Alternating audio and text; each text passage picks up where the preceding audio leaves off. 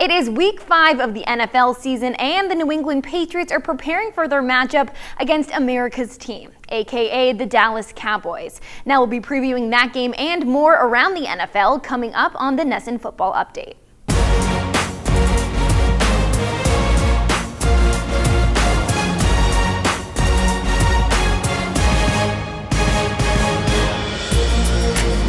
My name is Ashley Allen, your host for the NESN Football Update. It was another crazy week in the NFL, complete with unexpected endings and some less than stellar performances, especially in the kicking front.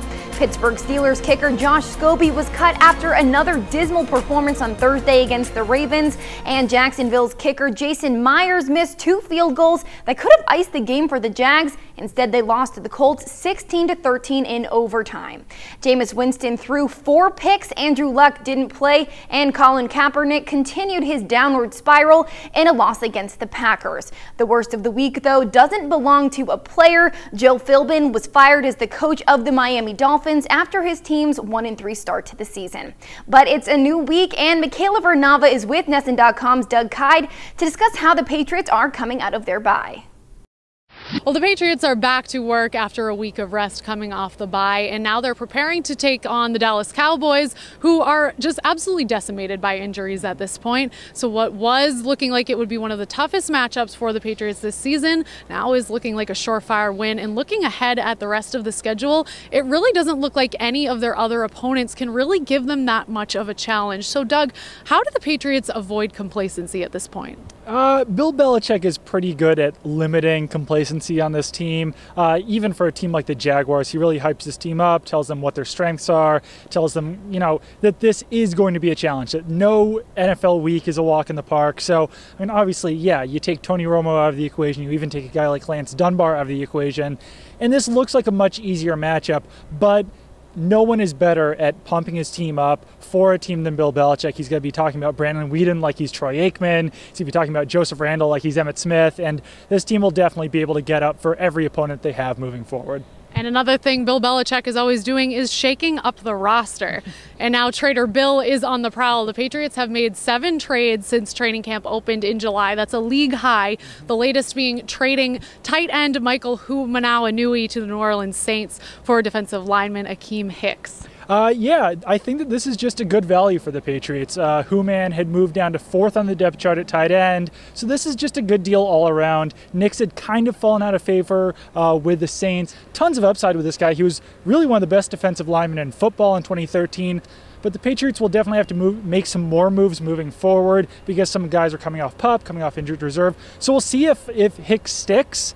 I think he will. I think this will be a good move for the Patriots, but we'll just have to kind of wait and see. All right, thanks, Doug. Stick around because later in the update, we'll be breaking down the Patriots Cowboys matchups. Hi, this is Ben Watanabe with NESN.com, and here are some interesting matchups we're taking a look at this week. First up, the New England Patriots giving up nine points on the road against the Dallas Cowboys. This line opened up at seven and a half, and honestly, it's going to have to get pretty wide before we can justify picking against the Patriots. New England is 2-0-1 against the spread this season, and the Cowboys are just 1-6 against the spread in their last seven at home. Next, we'll be looking at the Washington Redskins, nine-point underdogs against the Atlanta Falcons. The Falcons are 4 0, but they've been doing it with a patchwork offensive line, and Washington is second in the NFL defending the rush. Also, we're not completely sold on the Falcons, whose success has come against not exactly the strongest competition. Finally, we're intrigued by the Denver Broncos giving up 5.5 on the road against the Oakland Raiders. The Broncos have struggled this season against the Vikings, Ravens, and Chiefs, and Oakland is very good at covering the field, as evidenced by their seven turnovers forced, the 10th most in the NFL. Now, for your fantasy football mailbag questions, send it over to Darren Hartwell.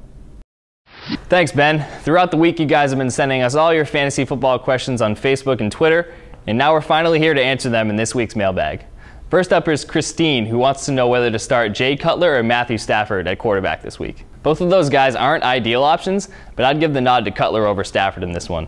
Cutler looked pretty decent the, against the Oakland Raiders coming back from a hamstring injury in week four, and now he gets the Kansas City Chiefs, who have allowed the most fantasy points to opposing quarterbacks so far this season. Stafford, on the other hand, has a much tougher lineup against the Arizona Cardinals secondary, and he hasn't thrown for 300 yards in seven straight games.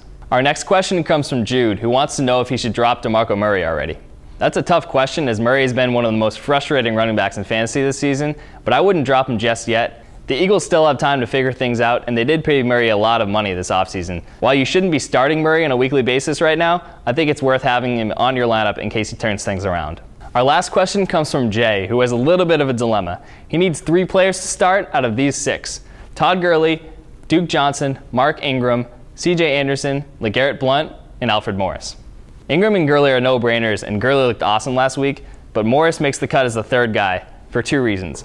One, he has an awesome matchup against the Atlanta Falcons, who have allowed the most touchdowns to opposing running backs this season. And two, he got 10 more touches last week than backup Matt Jones, which is a good sign going forward. If you want to be a part of next week's mailbag, send us your fantasy questions on Twitter and Facebook. And now, here are some highlights from NESN's fantasy football podcasts, as well as other featured podcasts on NESN.com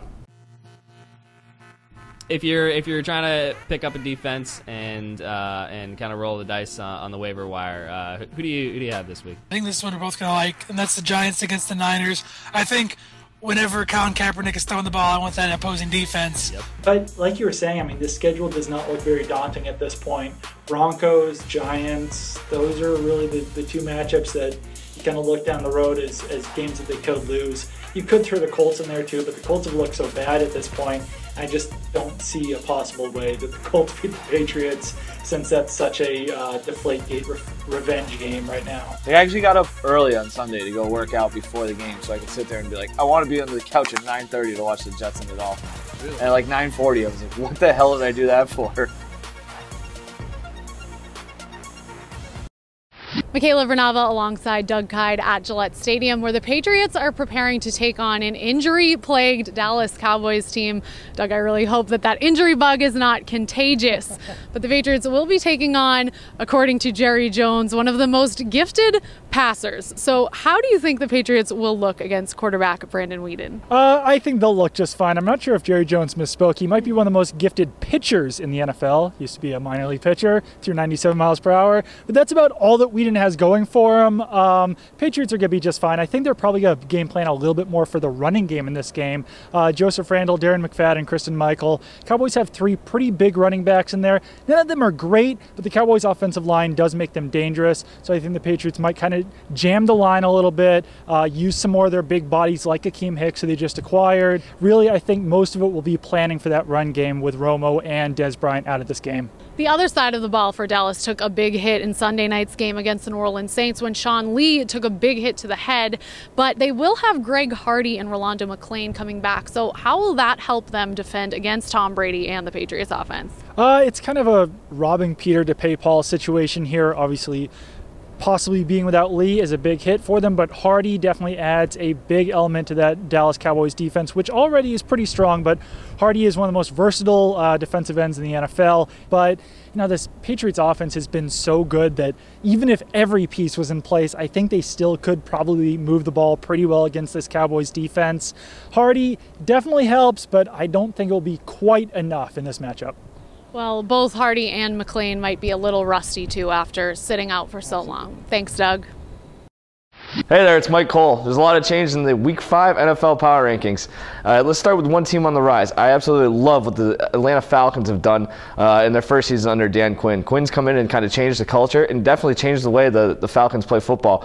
Uh, this is a team that's got back to the run. Devonta Freeman had arguably the best game of his career last week, and the defense looks better. Plus, you got to love the combination of Matt Ryan and Julio Jones.